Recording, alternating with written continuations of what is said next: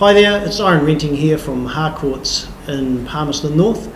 Today we thought we'd get Toby Ferreira back from the ANZ Bank, who's the mobile mortgage manager there, um, to talk about first home buyers and how they can get onto the property ladder and what assistance is available for them. So there's obviously KiwiSaver and the Home Start grant. That's right, yeah. How do they, what can they access? Uh, well, it, I think I mentioned um, previously that the um, we've had a lot of buyers using the, the KiwiSaver and the Home Start grant to help them get onto right. the property ladder.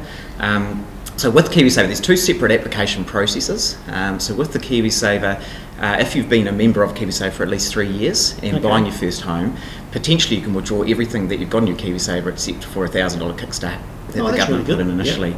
Um, so what I'd suggest with the KiwiSaver is you can actually contact your provider and ask them to um, send you an estimate of what you've actually got in there and what you're, um, what is available to withdraw from your KiwiSaver as well.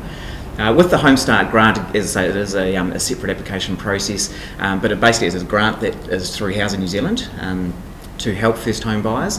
Um, and if you are buying your first home um, and have been in KiwiSaver for three years, potentially you could get up to $5,000. Um, Okay, yep, And that's so that five thousand dollars is per person. So if you're a couple buying a home, that's up to ten thousand dollars. Yep.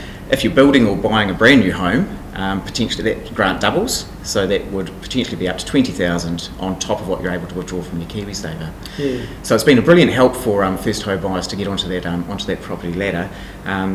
There are some criteria to the Home Start grant. For example, you have to um, purchase or build a new home for under 350,000 in this region. Um, but the most important thing with the Home Start grant is you can actually get a formal pre-approval for it through Housing New Zealand. Okay, yeah. Um, so you can actually contact them and um, and get it all done and dusted, ready to go for when you find find the right home.